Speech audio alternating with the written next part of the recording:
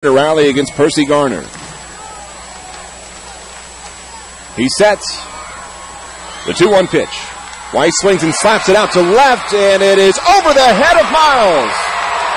McGuire scores. Here comes Meadows. He scores in the curve. Walk it off. 3 to 2. It's a game winning two run single for Erich Weiss in the curve to beat the Akron Rubber Ducks with three runs in the bottom of the ninth inning. Miles, if he had just stood still, would have made the catch in the game. Instead, he overran it coming in.